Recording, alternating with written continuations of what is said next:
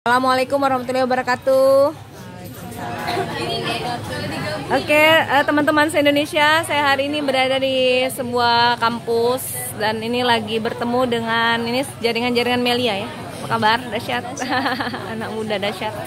Anak Mbak Ita.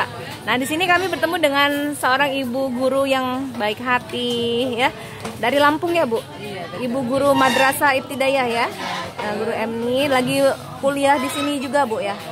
Ambil profesi guru. Boleh Bu diperkenalkan sedikit eh, awal mula ketemu Propolis terus apa saja kesaksian atau testimoni yang ingin disampaikan tentang Propolis ini sebagai apa penguatan buat banyak orang.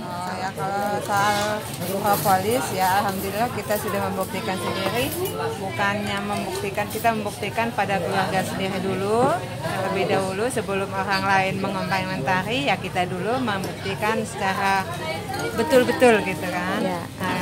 Kita, kita membuktikannya kita coba da, sama ibunda sendiri. Ya. karena eh, dia kendalanya pada matanya yang udah katarak yang udah em, seraput putih udah menyeberang ke mata. Nah yang hitamnya. Jadi kita cobalah yang pakai propolis ini. Ya. Nah, kita teteskan ya alhamdulillah. Nah, setelah sekali tetes saja. Nah, sekali tetes sekali pakai alhamdulillah. Pagi sore pakai dipakai siang udah dia udah merasakan hasilnya gitu loh Alhamdulillah. merasakan hasilnya dan setelah sore itu dia malah minta lagi iya karena kan alhamdulillah ada buktinya gitu loh Iya Bu ya. Jadi sudah nggak ada masalah di mata lagi Bu sekarang. alhamdulillah enggak Sudah sembuh ya? selaputnya udah langsung hilang itu Oh alhamdulillah. Terus ada kesaksian tadi Ibu juga cerita tentang keluarga Ibu. nah yang satunya itu saudara juga masih kak masih Ayu Ayo ya.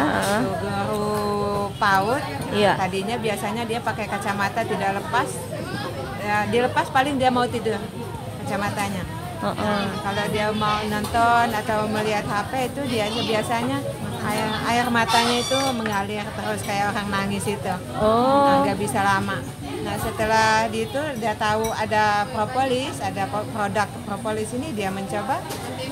Setelah pakai matanya membengkak karena udah parah terlalu parah kali ya.